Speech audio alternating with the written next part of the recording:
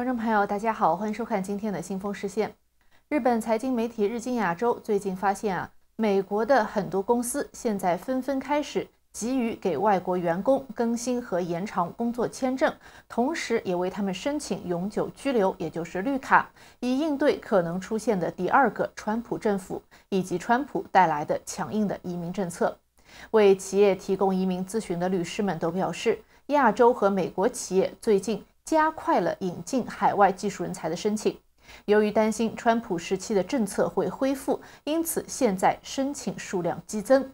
美国移民律师协会的主席表示，他的客户包括谷歌和脸书等大公司，他们正在为他们的很多员工申请永久居留，以保住他们在美国的合法地位。同时，他们也在研究外国人才的其他选择。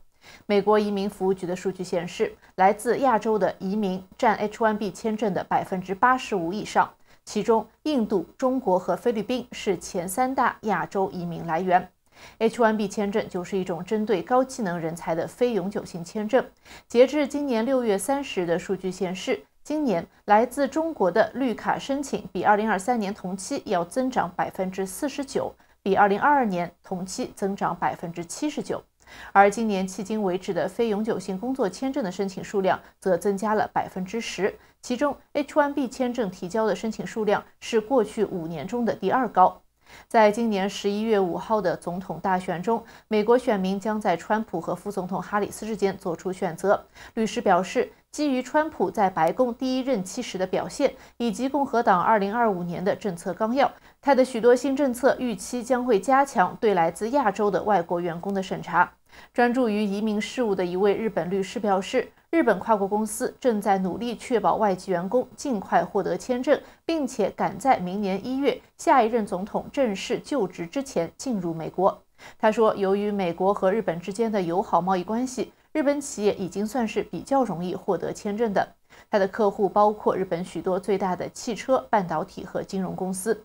他表示，企业正在审查招聘新员工和管理现有外籍员工的内部流程，以防在川普政府的领导下，美国移民局可能会进行更加严格的审查。总部位于华盛顿的美国人力资源管理协会坦诚地表示，自2020年新冠疫情爆发以来，移民一直是填补美国经济劳动力短缺的关键。去年，印度以二十七万九千多份 H-1B 签证的发放量位居榜首，占到该签证发放总数的近四分之三。而中国紧随其后，收到了四万五千多份美国签证，占总数的近百分之十二。菲律宾则位居第三，给他们发放了四千六百一十九份签证，占总数的百分之一点二。韩国和台湾也进入了前十，但是与印度和中国相比，比例就太小了。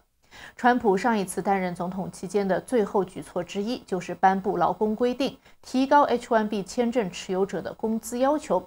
他认为这是为了保护美国工人不被廉价外国劳动力压榨，并且提高雇佣外国员工的成本。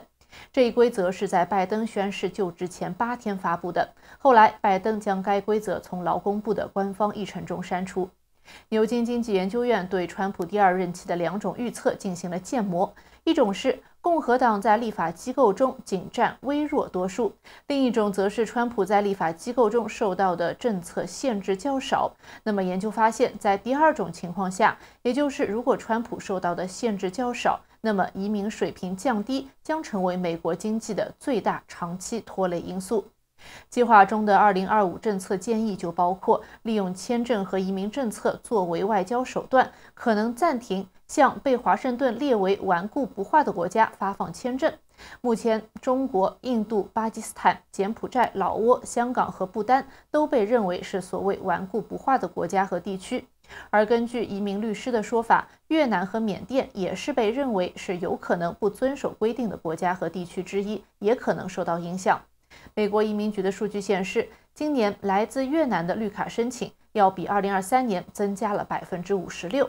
但移民律师也提醒，由于全球移民政策的很大一部分是基于互惠原则，如果这样的话，那么美国人去外国工作也可能面临后果，其他国家也可能会对美国采取更多限制性的政策。那么我们现在最关心的就是，川普或者哈里斯对中国到底是一个什么样的态度呢？分析人士认为，川普或哈里斯团队基本都还没有一个明确的对华战略。在上周二两人的辩论当中，中国一共被提及了十三次，这与六月二十七号拜登与川普辩论的时候次数相当。而现场主持人也没有向两位候选人提出有关中国或者台湾的问题。澳大利亚国立大学专门研究中美关系的政治学家宋文帝表示，在总统候选人证明自己能力的辩论当中，当今世界上最重要的双边关系却没有得到太多关注，这有点奇怪。虽然美国国内政策通常是美国总统辩论的焦点，但是抨击中国在竞选期间也变得非常常见了。比如说，2020年的竞选当中，川普和拜登都对中国采取了强硬立场，双方的竞选团。双方的竞选团队都批评对方对北京太过软弱，而2016年，川普则指责中国是强奸了美国。当时的总统候选人希拉里·克林顿则谈到要剥夺中国在美国法律下的市场经济地位。但是，自从哈里斯今年夏天成为民主党候选人以来，中国问题就很少被提及。对此，耶鲁大学历史学教授认为，这反映了华盛顿两党。对如何面对中国，基本已经达成了两党共识。也就是说，哈里斯和川普都相信通过大国竞争制约中国可以带来好处，并且都认为必须通过关税、出口管制和增加军费开支来遏制北京，从而向中国发起挑战。因此，关于中国问题，已经没有什么可以再争论的了。这或许是今年的竞选当中中国不再被频繁提起的原因之一。分析人士一般都同意，如果哈里斯当选总统，在初期他将会延续拜登的外交政策。然而，未来哈里斯可能会摆脱拜登的策略。二零二二年，哈里斯在泰国与习近平进行过短暂的通话。据拜登政府的一位高级官员透露，哈里斯会定期参加白宫有关美国对华战略的会议。他对影响双边关系的问题可以说是了如指掌。据接近民主党的美国外交政策专家称，在制定对华战略时，哈里斯可能会借鉴前总统奥巴马在第二任期时的一些政策。而对于川普来说，鉴于他本人反复无常的行为，专家表示，他的对华政策很可能与第一任期时一样是难以预测。以上就是今天新风事件的全部内容，感谢您的收看，这里是华尔街电视。如果喜欢，记得点赞并且订阅我们的频道。我们下期节目再见。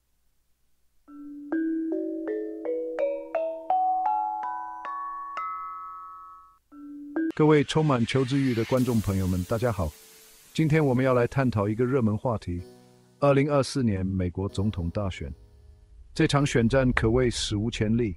究竟唐纳德·川普能否重返白宫，亦或是贺锦丽将突破性别藩篱，成为美国首位女总统？让我们直捣黄龙，一探究竟。这场选战利害关系重大，竞争激烈。从华府熙攘的街头，到华尔街的金融脉动。再到戏骨的科技巨头，全美各地都为之沸腾。首先，我们来谈谈川普。不论您是支持还是反对，都无法忽视他的存在。他的支持者一如既往的热情拥戴，他已让美国再次伟大的承诺激荡着选民基础。但且慢，贺锦丽可不是省油的灯。身为现任副总统，他一直处于政治漩涡的中心。他对美国的愿景是进步的、包容的。具有前瞻性的，他会是打破那道最高、最坚硬玻璃天花板的人吗？现在，让我们不要忘记那些不被看好的候选人。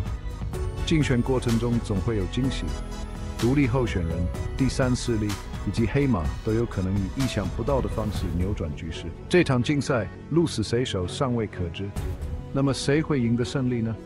答案并不容易。民意调查、辩论和舆论每天都在变化。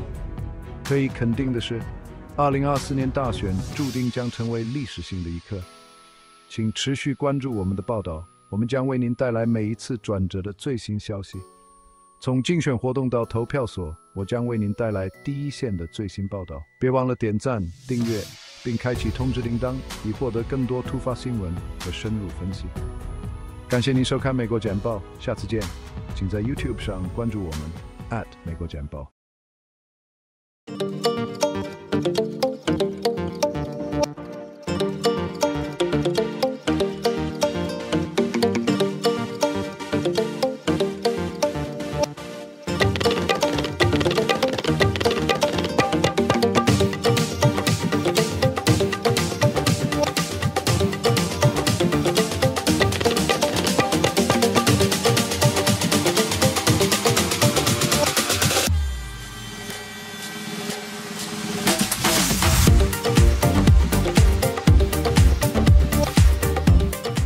来到六度解析新闻背后的多维思考，带你洞悉头条背后的世界。